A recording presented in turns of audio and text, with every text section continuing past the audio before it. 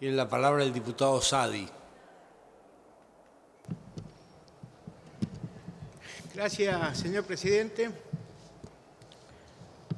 Nuestro bloque ha decidido acompañar afirmativamente todos los temas que contiene esta sesión especial. Fundamentalmente porque entendemos que como representantes del Congreso de la Nación Argentina, no podemos permanecer indiferentes ante la situación de agobio y desesperación que está viviendo la inmensa mayoría de las familias argentinas. Los industriales, los comerciantes, las pymes, los sectores olivícolas de nuestra provincia, producto, entre otras malas decisiones del Gobierno Nacional, del aumento irracional y desproporcionado de la tarifa de los servicios públicos. El Congreso de la Nación no puede permanecer indiferente ante un tema como la violencia de género. Las estadísticas son alarmantes.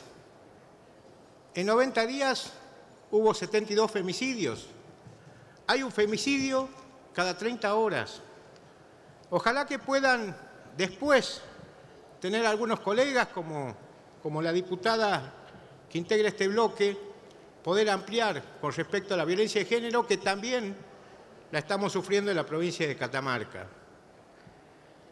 El Congreso de la Nación no puede permanecer ajeno a los últimos datos del INDEC acerca de la pobreza y de la indigencia. Hay millones de argentinos que hoy no tienen un plato de comida. Los merenderos, los comedores están absolutamente abarrotados los centros de jubilados, que reciben una miseria de PAMI para poder dar de comer a los jubilados y pensionados. Y tampoco nos podemos hacer los distraídos ante un fallo de la Corte Suprema de Justicia de la Nación que le está diciendo al Congreso que de manera urgente saquen un proyecto de ley para eliminar el impuesto a las ganancias de los jubilados y pensionados que no tienen mucho tiempo. La verdad que lo estamos obligando a que inicien un proceso, un juicio que lleva 10, 15 años. Yo lamento profundamente que el oficialismo, que los representantes del Gobierno Nacional no quieran tratar este tema, no lo quieran discutir. Estos temas son los temas de la Argentina real. Esto es lo que hoy está hablando la gente en cada uno de los hogares. Yo, la verdad, no puedo creer que el Gobierno Nacional no tome conciencia de la gravedad de la situación. Yo no puedo creer que ustedes, como representantes del Gobierno Nacional, cuando van a ver a algún vecino, cuando visitan un barrio, cuando realizan esos famosos timbreos, la gente no les diga que no pueden pagar la tarifa de los servicios públicos, que se están endeudando, que hay algunos que pagan la tarifa o pagan los remedios, o pagan la luz o comen.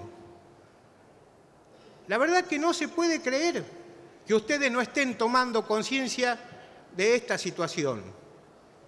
En nuestra provincia, en la provincia de Catamarca, el costo de la energía subió cerca de un 1.800%. La empresa distribuidora, que es una empresa estatal, compraba la energía a Camesa en diciembre del año 2015 a un precio de 14 millones. Y la boleta que hoy le llega a esa empresa, reitero, estatal de la provincia de Catamarca, por el costo de energía, es de 215 millones. En menos de tres años hicieron un aumento desproporcional, este, imprevisible, irrazonable, de cerca de un 2.000%. ¿Y qué es lo que pasó? Hoy la mayoría de las familias catamarqueñas han entrado en una pobreza energética, porque ocupan cerca del 15, del 20 de sus salarios en pagar los servicios públicos. Hay familias que no pueden atender las necesidades básicas porque tienen que pagar la luz. La suba de tarifa ha destruido el tejido productivo de la provincia de Catamarca. No lo digo yo, acá tengo los datos. El sector olivícola de la provincia, un sector muy importante, donde se generaba mucho trabajo. El presidente de la FOA, que es la Federación Olivícola Argentina,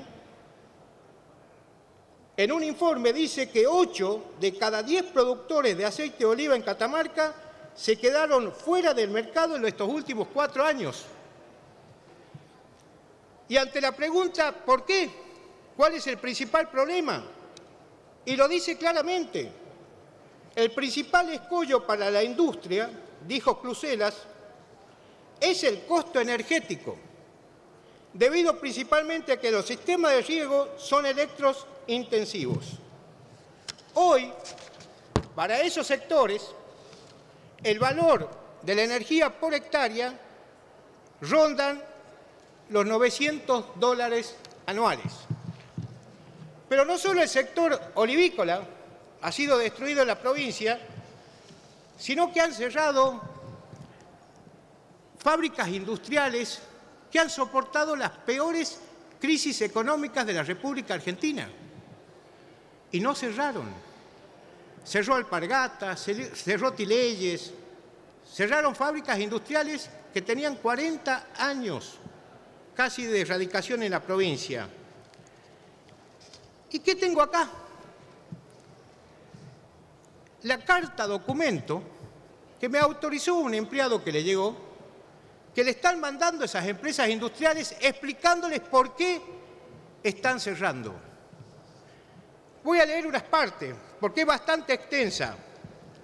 Pero esa carta documento dice, mediante la presente notificamos a usted que a consecuencia de la cancelación por parte de muchos de nuestros principales clientes, sumado a la prolongada crisis de la actividad del sector, la profunda retracción de la demanda como producto de la caída del consumo interno, los intereses bancarios y el elevado incremento de los costos de la energía utilizada para la producción y los costos de transporte ha generado una situación de fuerza mayor, viéndonos en la necesidad de realizar el cierre de la planta industrial. Por todo esto, Diputado, por favor, vaya. por todo esto, le notificamos que damos por terminado el contrato de trabajo. Esta es la Argentina real.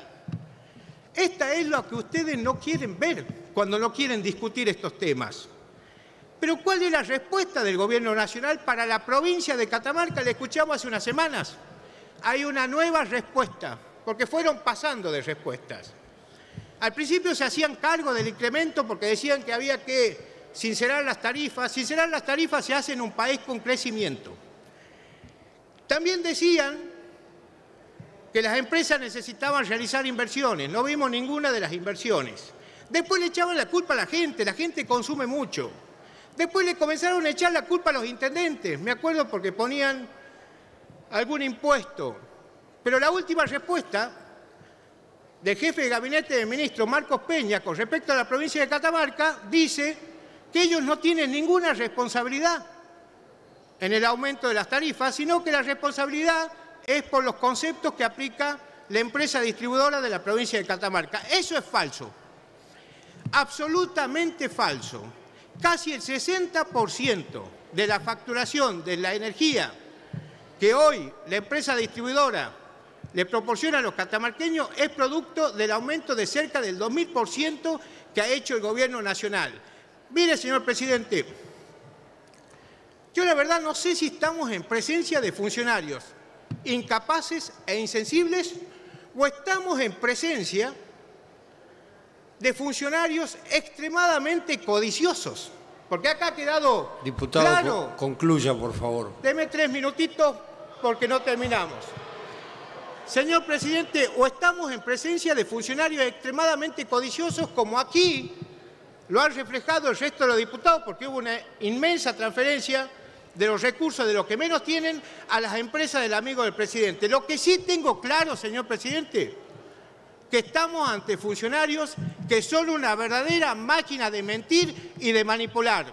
No hay que subestimar al pueblo de la, de la provincia de Catamarca, señor presidente, se equivocan. El pueblo de la provincia de Catamarca no les creyó en el 2015, no les creyó en el 2017 y muy difícilmente pretendan hacerle creer algunas mentiras que ustedes no tienen nada que ver con la suma de tarifa. Este bloque va a estar presente y va a dar la discusión a todos los temas que estén en la agenda de la gente, porque eso es lo que manda el artículo 75, inciso 23, que los legisladores deben establecer soluciones diferenciadas a los sectores más vulnerables. Muchas gracias, señor presidente. Gracias, diputado.